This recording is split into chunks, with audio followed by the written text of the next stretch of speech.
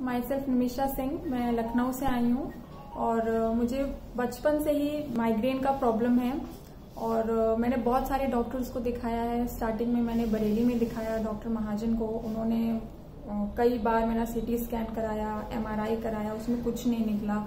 उसके बाद उन्होंने बहुत सारी दवाइयाँ दी, उससे भी कुछ फ़ायदा नहीं हुआ।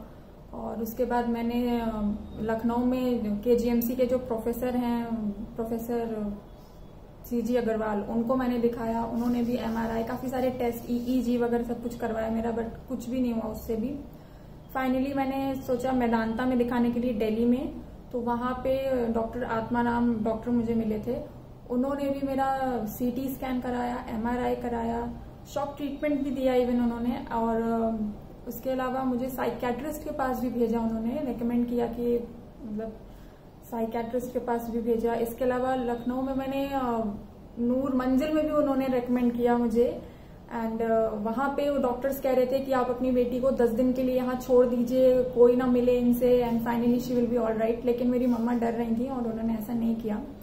तो फाइनली मेरे जीजा जी ने मुझे बताया कि मुझे रुद्रपुर में आके डॉक्टर अभिषेक गुप्ता को दिखाना चाहिए। And I am very thankful to him वो बहुत अच्छे डॉक्टर हैं और uh, मेरा जो माइग्रेन का प्रॉब्लम है बहुत बहुत बहुत कम हो गया है।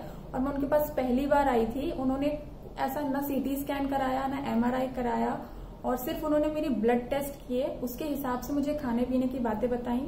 और फाइनली एकदम सही है मेरा दर्द। मैं सेकेंड टाइम यहाँ पे आई हूँ और I am totally all right medicine and medicine भी बहुत कम दी उन्होंने और मतलब दोपहर की तो मेडिसिन है ही नहीं, सुबह की और शाम की मेडिसिन लेनी होती हैं। एंड बस, बहुत अच्छा है सब कुछ।